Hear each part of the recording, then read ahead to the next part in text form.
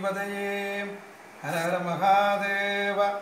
எல்லாம் வல்ல சிவப்பரம்பொருளின் திருவருட்கடாட்சம். அனைத்து உலகக் கோயில் அடியவர்களுக்கும் கிடைக்கும் வண்ணம் வேண்டிக் கொண்டு இன்றைய தினம் பஞ்சபூதங்களிலே நீர் பற்றி சிந்திக்கலாம் என நினைக்கின்றேன். பஞ்சபூதங்கள் பிருதிவி அப்பு வாயு தேயு ஆகாயம் என்ற வகையில் நிலம் நீர் தீ காற்று ஆகாயம் என்று அழைக்கப்படுகின்ற பஞ்சபூதங்களிலே நீருக்கு ஒரு முக்கியத்துவம் சைவ நெறியை பொறுத்தவரையிலே கொடுக்கப்பட்டிருக்கின்றது. காரணம் மனிதனுடைய வாழ்வியலோடு அத்தோடு சமய விழுமிய பண்புகள் ஆலயங்கள் இன்னொரென்ன விடயங்களோடு தொடர்புபட்டதாக நீர் காணப்படுகின்றது. ஆலயங்களை எடுத்துக்கொண்டால் ஆலயங்களிலே நீரின்றி பூஜை வழிபாடுகள் எதுவுமே கிடையாது. சலம்பூ ஒரு தூபம் மறந்தறியேன் என்று திருநாவுக்கரசு நாயனார் சொல்லியிருக்கின்றார். பூவும் நீரும் பூஜைக்கு உகந்தது என்று சொல்லி பெரியவர்கள் சொல்வார்கள்.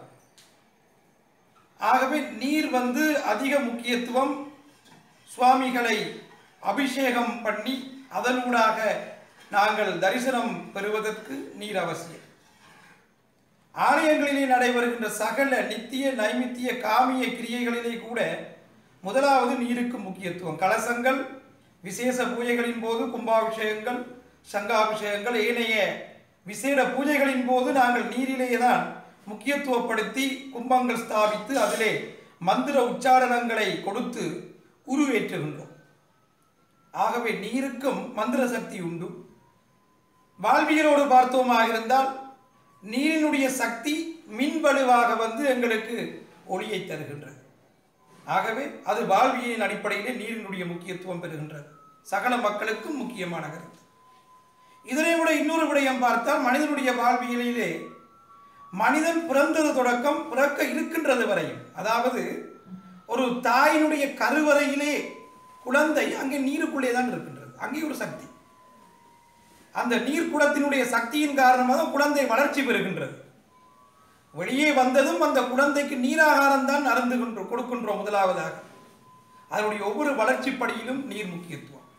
அது மட்டுமல்ல எங்களுடைய இருதயங்கள் மற்றும் உடல் அங்கங்கள் எல்லாம் குருதி குருதி என்று சொல்லப்படுகிற இரத்தத்தின் காரணமாக நீர்த்தன்மையுடைய சக்தியின் காரணமாக தான் அங்கே உட்படுத்தப்பட்டு வளர்க்கப்படுகின்றது.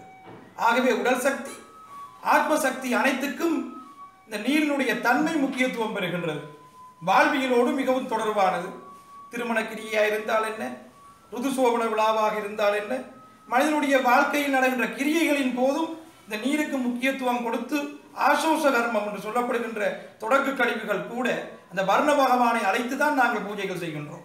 முதலாவது வர்ண பகவானுக்குரிய பூஜை. ஆகவே வர்ணன் நீருக்குரிய தெய்வம் என்று அடியவர்கள் அனைவருக்கும் தெரிந்ததுண்டு. ஆகவே வர்ணனுக்கு முக்கியத்துவம் கொடுத்து பூஜை வழிபாடுகளை வீடுகளிலும் சரி ஆலயங்களிலும் சரி பொது சமய நிறுவனங்களிலும் நாங்கள் செய்து வருகின்றோம். உதாரணமாக நாங்கள் பார்க்கலாம் பஞ்சபூத தலங்களிலே திருவானைக்கா திருச்சியிலே அமைந்துள்ளது. திருவானைக்கா. அந்த அங்கே இருக்கின்ற சிவபெருமான் சிவலிங்க வடிவிலே இருக்கின்றார் ஜம்புகேஸ்வரர். அவர் நீரிலேயே மிதந்து கொண்டிருக்கின்றார். அங்கிருந்து அருள் பாலித்துக் கொண்டிருக்கின்றார். காவேரியினுடைய நீர் மட்டம் இங்கே ஜம்புவேஸ்வரர் இருக்கின்ற மட்டத்துக்கு சமனாக சொல்லப்படுகின்றது. ஆகவே அங்கேயும் ஒரு சக்தி இருக்கின்றது. இந்தியாவுக்கு தென்னிந்தியாவுக்கு வழிபாட்டுக்கு செல்வோம் திருவானைக்காவை தரிசனம் பண்ணாதவர்கள் இல்லை. எல்லோரும் சென்று பஞ்சபூத தலங்களிலே ஒன்றான திருவானக்காயோட போய் அங்கே ஜம்புகேஸ்வரரை தரிசனம் பண்ணினால் எங்களுக்கு சகல சக்திகளும் உண்டாகும் ஜெயம் உண்டாகும் என்பது இந்த பஞ்சபூத தல வழிபாடுகளிலே முக்கியமான ஒரு கருத்து. ஆகவே வாழ்வியலோடும் சமயத்தோடும் இன்னொரு செயற்பாட்டோடும் முக்கிய விடயம் பெறுகின்ற இந்த நீருக்குரிய முக்கியத்துவம் எமது சைவ நெறியை பொறுத்தவரையில் மிகவும் உன்னதமானது. நாங்களும் நீருக்கு ஒரு தெய்வ சக்தி உண்டு என்பதை மதித்து அதனை பேணி பாதுகாப்பதும் ஒரு கடமையாக இருக்கின்றது. ஆகவே இன்றைய தினம் பஞ்சபூதங்களில் ஒன்றாகிய நீரை பற்றி அனைவரும் சிந்தித்து அதனை ஆரோக்கியமாக நாங்களும் வாழ்ந்து நீரையும் பேணுவோம் என்று கூறிக்கொண்டு விடைபெறுகின்றேன். நன்றி வணக்கம்.